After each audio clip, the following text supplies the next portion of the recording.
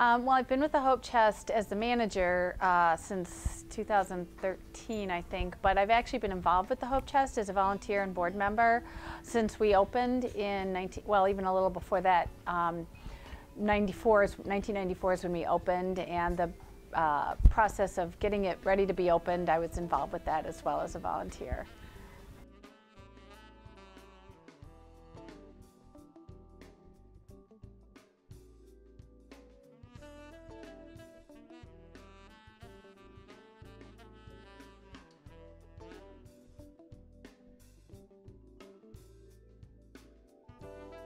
Just finished up our bag sale, which is how we clear out our summer merchandise, and now we're all set up for fall.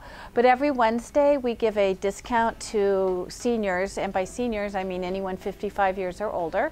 So all of our merchandise on Wednesdays uh, is 50% off with the exception of a few um, higher end items that we mark no discount. But um, that's our busiest day when our seniors come in and, and get a discount on, on our merchandise.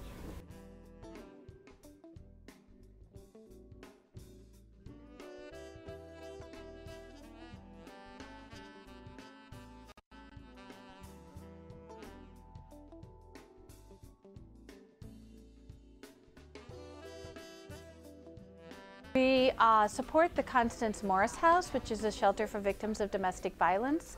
Um, and we raise money through the sale of uh, donated clothing. And then we also um, uh, provide the women there with clothing, and their children as well, with clothing. If we don't have it here in the shop, we can go out and purchase it for them. So we provide money for their programs and then also uh, clothing so they can go to work, school, interviews, whatever.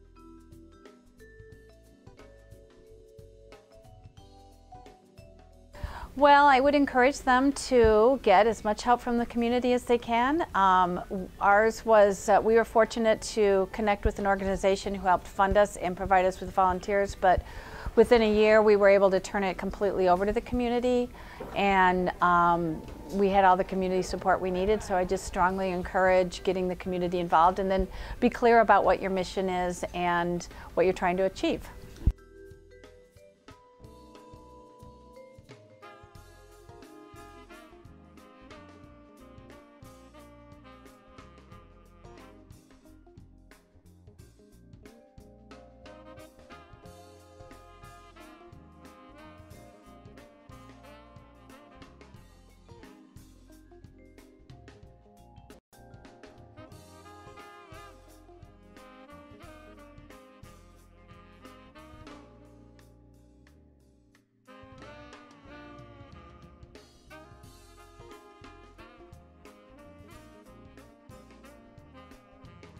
The community involvement is fabulous. We wouldn't be able to do it without the community. Um, all of our, most of our staff is volunteer. We have a few paid staff members, but um, the majority of the people who help us out are all volunteer. All of our merchandise is donated to us. So um, without the community, we wouldn't have merchandise or people to staff the shop. So it's been a great response.